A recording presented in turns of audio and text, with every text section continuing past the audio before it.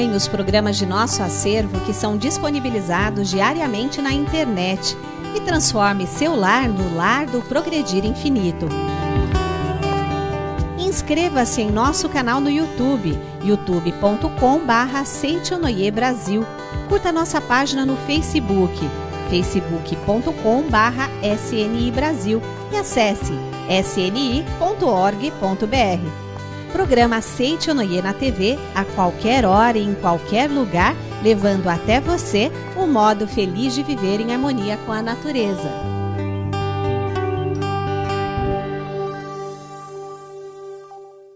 Olá! Para permear o seu ambiente com a vibração de bênçãos e de fortunas, está no ar mais um programa Aceite Onoye, um modo feliz de viver. Hoje o preletor N. Massaque Rara recebe o preletor Olímpio Quitarrara e o preletor Geraldo Vieira da Silva. Na mesa de preleções, um assunto que mexe com todo mundo: o mistério do nascimento e da morte. Mas, na verdade, justamente pelo, pelo conceito da, da reencarnação, é que faz com que este mundo seja realmente um mundo bastante justo e no quadro Sou Feliz, Ilma Francisca Rezende Camargo revela como o ciclo de estudos da prosperidade promoveu a melhora da condição financeira dela e de toda a família. A equipe nossa de representantes está crescendo junto conosco. Então, é, adquirindo seus veículos, comprando as suas residências e a cada dia nós somos mais procurados para é, novas representações. Fique conosco e assegure uma conexão viva, radiante e direta com Deus. Desperte a natureza divina existente dentro de você e renove a fé em viver uma vida alegre e saudável com a coleção A Verdade, composta por 10 volumes, além de um volume suplementar. A coleção A Verdade traz o ensinamento básico da Seichonoye de forma didática e de fácil entendimento, com volumes que introduzem a teoria e a prática, como por exemplo a meditação Shinsokan. Adquira a coleção A Verdade ligando para 0800 770 2600 ou para 0 operadora 11 5074 4180 de telefone celular. Acesse www.sni.org.br barra livraria virtual. Consulte as condições de parcelamento e como obter uma linda caixa exclusiva. Tenha sempre em mãos explicações sobre vida cotidiana, despertar espiritual, relação entre ciência e religião, além de um volume dedicado inteiramente às mulheres e outro aos jovens. Adquira a coleção A Verdade e receba em sua casa mensagens que lhe trarão vitalidade e paz espiritual. Desenvolva sua capacidade infinita com a coleção A Verdade.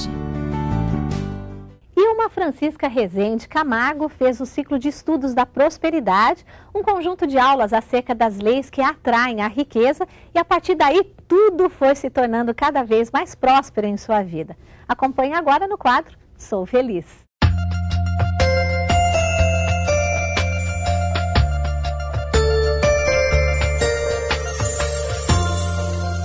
2006, me matriculei no ciclo de estudo da prosperidade. Ao levantar os meus desejos, entre outros, coloquei a expansão de nossa empresa, a qual já fabricávamos calçados magnéticos. No primeiro semestre ainda de 2006, tivemos a belíssima ideia de fabricar também o colchão magnético, o qual recebeu o nome de Big Son. E para nossa surpresa, é, o nosso colchão saiu muito abaixo do preço da concorrência.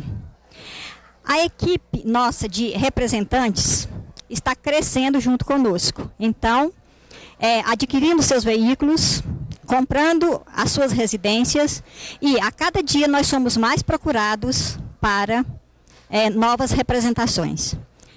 É, no campo familiar, é, meu filho foi promovido no trabalho, a qual ele ficou muito satisfeito e também eu coloquei agora em 2007 o desejo de adquirir um terreno para nossa surpresa, nós fomos olhar um terreno para comprar, compramos quatro junto. E também, simultaneamente, eu tinha colocado o desejo de trocar meu veículo e eu troquei por um que é o dobro do preço do meu. E convido a todos vocês, procure é, na sua cidade, fazer o ciclo de estudo da prosperidade, que vale a pena. Muito obrigada.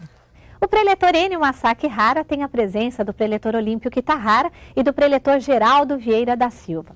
Eles trazem à baila um assunto que provoca uma certa inquietação na maioria das pessoas: o mistério do nascimento e da morte. Veja.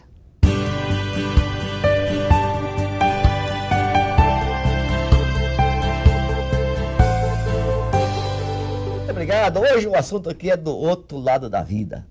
Reencarnação, por que, que o homem nasce, por que, que o homem morre, se precisa nascer, se precisa morrer, sobre evolução espiritual e para falar sobre esse assunto, pessoas do outro mundo. do mundo da imagem verdadeira, professor Olímpio Quitahara. Tudo bem, professor? Tudo bem, muito obrigado. Muito obrigado por ter Ah, vindo, hein? Muito obrigado. E também aqui o professor Geraldo Vieira. Tudo bem? Muito- Tudo muito bem, obrigado. professor? Tudo ótimo, graças Obrigado a por ter vindo para cá. Eu que agradeço a oportunidade mais uma vez. Muito obrigado. Professor, para começar assim, o homem morre ou não morre? Fenomenicamente morre sim, né? Ou seja, dentro do, daquilo que eh, ocorre neste mundo material, realmente ele morre. Tá certo. E também fica assim sempre no ar, né? Tem pessoas que nascem numa família muito bem. Outras nascem numa família numa situação complicadíssima. Por que, que uns são privilegiados, maneira de expressão, e outros não são privilegiados? Pela lei da reencarnação, eh, nós trazemos acúmulos de virtudes ou não de vidas passadas. E o momento que estamos vivendo aqui, ou o momento que nascemos aqui, eh, é um complemento de situações anteriores. Então, dependendo do que a pessoa realizou em outras vidas, ele está projetando ne- nessa vida atual. Tá? Então, às vezes as pessoas dizem assim, por que, que a pessoa é, é, bem, é bem sucedida e outras se esforçam, trabalham, estudam e não são? Aí é que entra a, a lei de causa e efeito, né? Ou, por exemplo, o efeito do karma. É, de, de repente, em outras vidas, a, a pessoa foi é, é, bondosa, caridosa, praticou coisas boas, naturalmente ela traz na sua bagagem mental e manifesta nessa vida todas essas virtudes.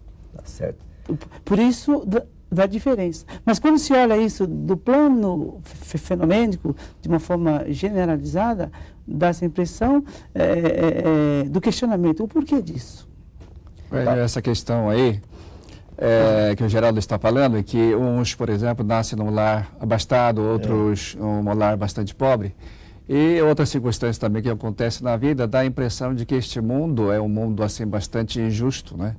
Mas na verdade, justamente pelo pelo conceito da, da reencarnação é que faz com que este mundo seja realmente um mundo bastante justo em todos os aspectos, né? Tá. Então, por exemplo, uma pessoa que só fez o mal, só praticou o mal né, durante toda a sua vida.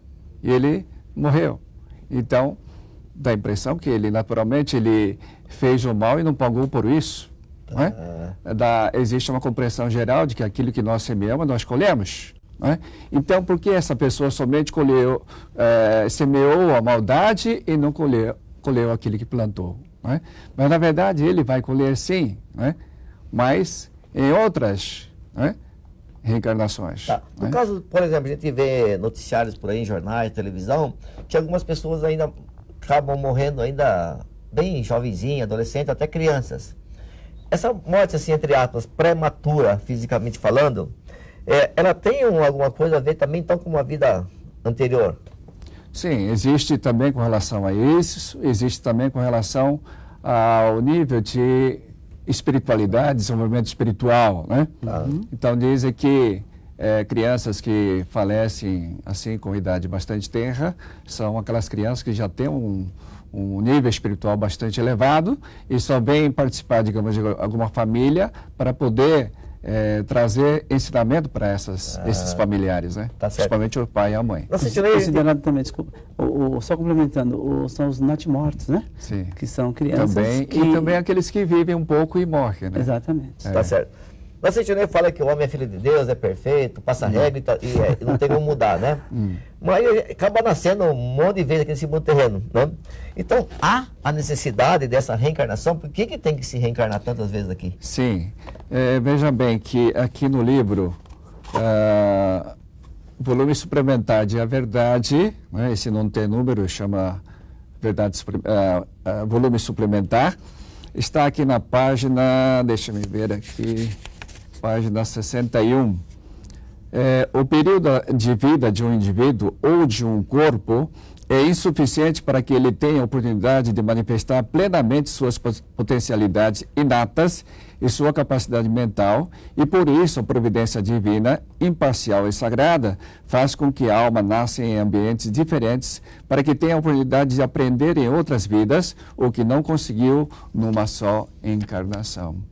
Então isso explica que através né, dos vários processos de encarnação é que a pessoa é promovido o seu autodesenvolvimento. Tá certo. Para cada vez que nasce aqui, que nem fosse um ano na escola. É. Vai aprendendo um pouquinho. É, exatamente. Tá certo. É. Tem pessoas que, sei lá, tá complicada a vida, a mulher foi embora, dá um tiro na cabeça, ou tá com endividado, dá um tiro na cabeça, outro monte de morte até natural, né? Vamos dizer assim.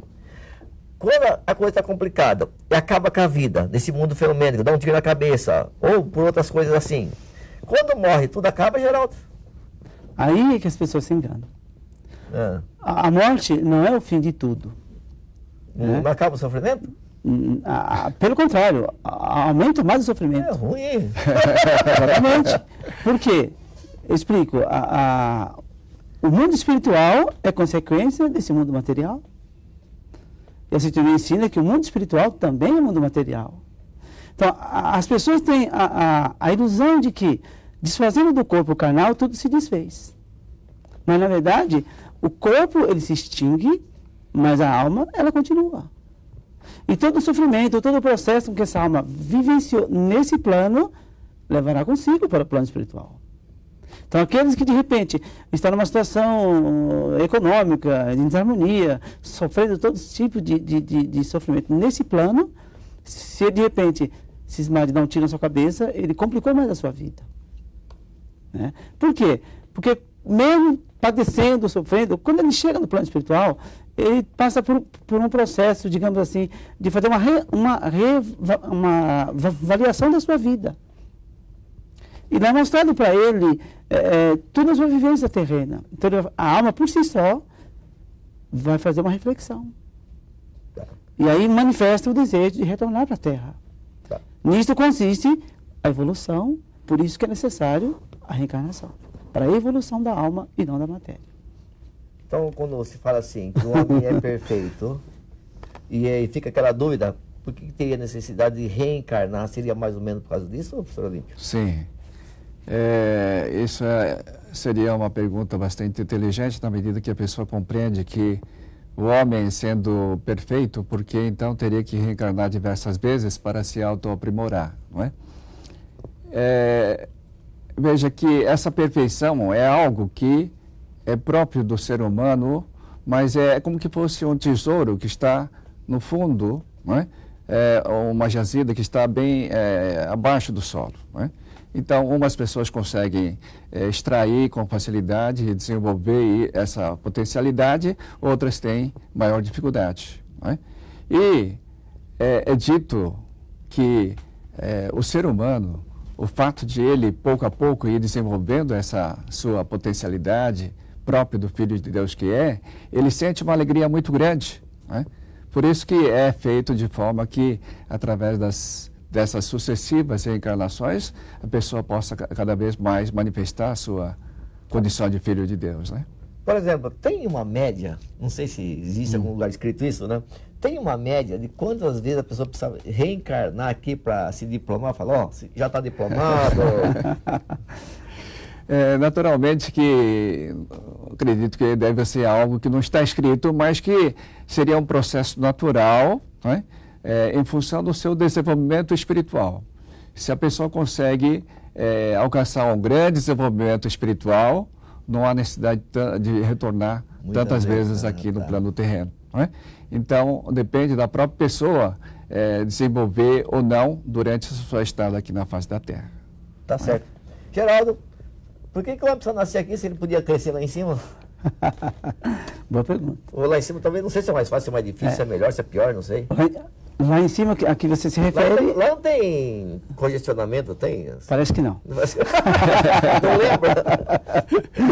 É, é, é que, é, na verdade, o, o- o plano espiritual também proporciona evolução às pessoas. Mas as almas desejam nascer aqui, nesse plano terreno, porque aqui oferece amplas e totais condições para a evolução da alma. Por exemplo, todos os obstáculos, dificuldades, problemas que uma alma enfrenta nesse plano, ela está criando condições para a sua evolução. Por exemplo, o professor Seito Taniguchi diz assim, ah, que o planeta Terra é a escola da vida. E as almas aqui se matriculam para estudarem. Imagina você é, é, entrar numa sala de aula sem ter professor, sem ter matéria, sem ter livro didático. Como que iria evoluir? Então, a CTNE até ainda diz para se agradecer as dificuldades. Não, digamos assim, a dificuldade em si, mas o que a, a dificuldade está proporcionando oportunidade para a evolução dessa Então, mas alma. essa dificuldade está na mente. E não no plano material, ou imaterial, ou fenomênico, ou, ou mundo da imagem verdadeira. Sim, Então, essa dificuldade poderá ter aqui, poderá ter lá também. evidentemente. Então, aí não podia, se, não podia estudar lá em cima? Tem que se diplomar aqui embaixo? Não? eu faço, um, eu, colo, eu faço uma co- colocação bastante interessante para você. Existem atletas do Brasil Hum. que ganham bolsa de estudo, ou, ou atletas que, que ganham bolsa para aprimorar os Estados Unidos e outros países. Por que isso ocorre? Porque lá, evidentemente, se oferece maiores condições para o aprimoramento daquele atleta, ou para as pessoas que estão estudando. né? A mesma coisa, nós e as, as almas escolheram o, o planeta Terra pra, para que nascerem, porque aqui se oferece amplas e totais condições para isso. Tá? Então, através de dificuldade, dificuldade, a alma vai amadurecendo, fortalecendo, através desse adestramento, né?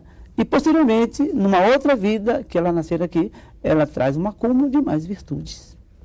Logo no Esse começo, o- o senhor falou sobre conhecereis a verdade e a verdade vos libertará, né?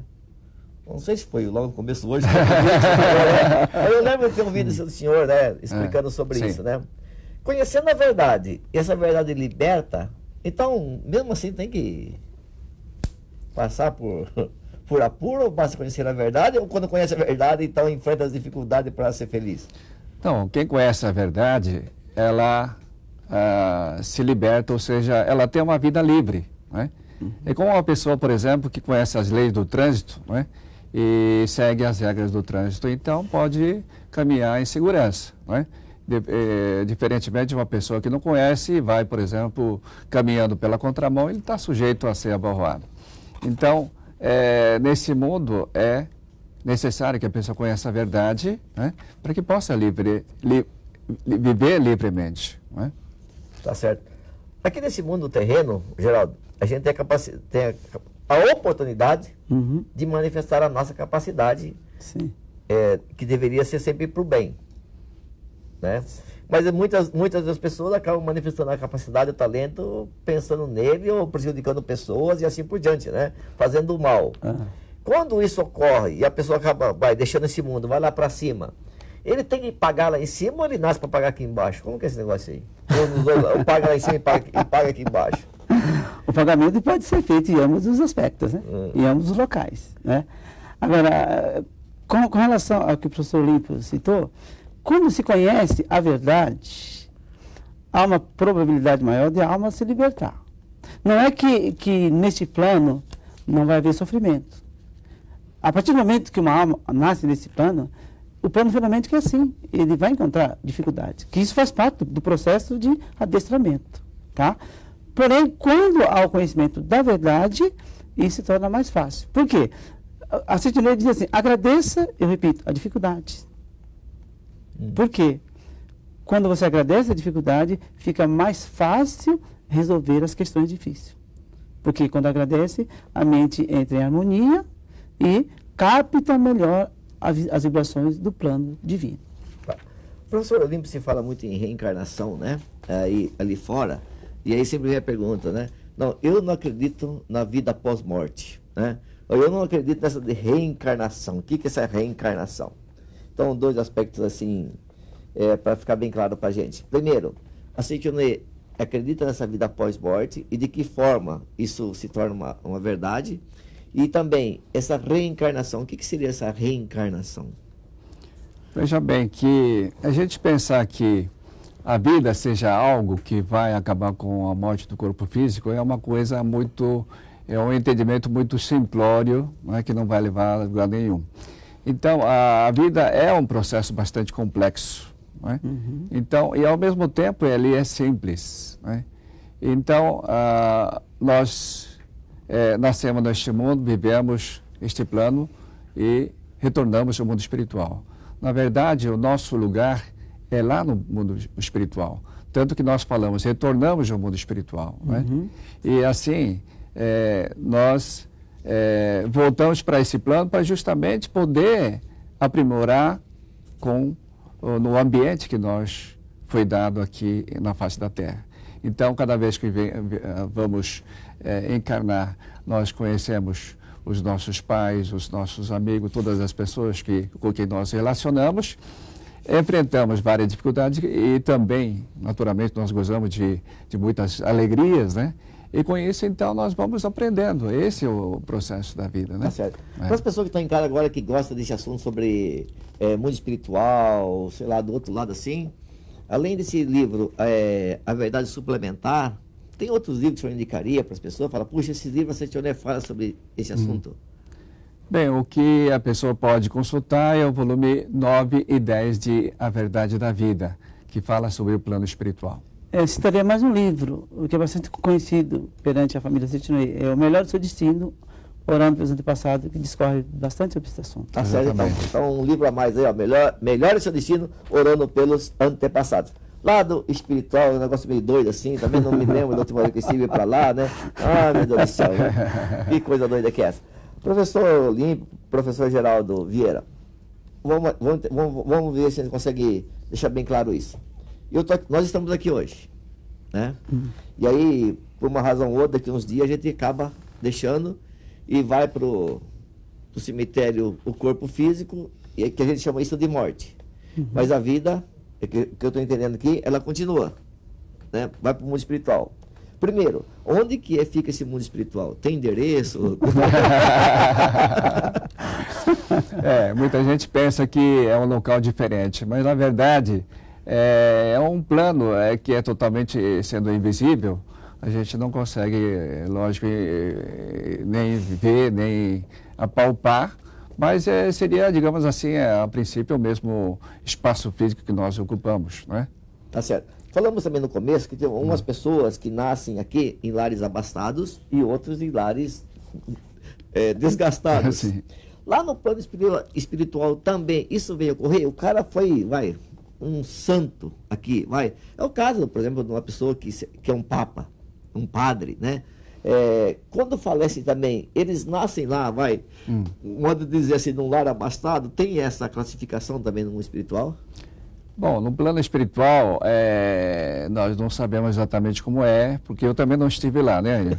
Vocês Mas... estiveram, né? traz um, tudo gravado, né? É, no pendrive, né? É, mas é sabido que lá também a pessoa não fica na ociosidade, porque existe um processo de é, aprendizagem, de, de, de, aprimoramento também no plano espiritual. Ou seja, deve haver determinados tipos de atividades que as pessoas vão frequentar, né? Tá Nesse livro citado, recente, agora pouco, A Verdade, volume 9, o professor Massado a verdade, a verdade da Vida. A Verdade da Vida, Sim. volume 9. Tá. É, ele diz assim, mesmo os espíritos bastante evoluídos, no, no, digamos assim, no nível bastante elevado, se eles negligenciarem suas obrigações no plano espiritual, serão arrastados para, novamente para este plano. Não, sim, aí tá certo, que não tem essa, essa oportunidade de ficar parado, né? Ah. Mas quem aprontou muito aqui vai se diplomar lá em cima dentro de um grupo que também que aprontaram bastante. E quem, só, quem foi santo aqui, uma maneira de expressão, vai, deve se juntar a um outro grupo de Sim, que foram santos também e acaba tendo um outro tipo de vida, né? As dificuldades Sim. são diferentes, né? Porque aí, aí, também funciona a lei da, da atração, né? Da, da, é. da ação e reação. Tá certo, então. Exatamente. Então, para você que está em casa aí, ó, nosso muito, muito obrigado. Então, livros para que você fique mais por dentro né, desse lado espiritual, desse mundo espiritual, mistérios da vida. A Verdade Suplementar, A Verdade da Vida, volume 9 e volume 10 e melhore seu destino orando pelos antepassados. Então é só ligar no 0800 770 2600 e saiba tem uma livraria da Seitione perto da tua casa. Obrigado, professor Olímpio Quitarrara. Obrigado. Obrigado, professor Geraldo Vieira. Muito Muito obrigado a todos vocês. Um dia a gente se encontra, ou aqui, ou lá em cima. Muito obrigado. E aí, para que você sinta seu coração se preencher do divino amor de Deus, é que esteve no ar mais um programa Aceite ou Noie, um modo feliz de viver. E olha, gente, mesmo o menor de todos, quando evoca Deus, se torna grande.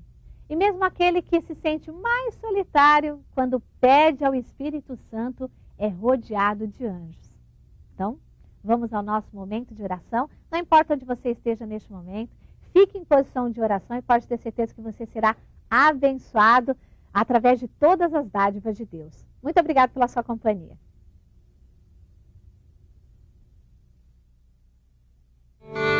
Oração quando você sofrer injúrias. O infinito amor de Deus flui dentro de mim e torna agradável a atmosfera que emana da minha mente. Eu amo todas as pessoas e por isso elas me amam. Muito obrigado.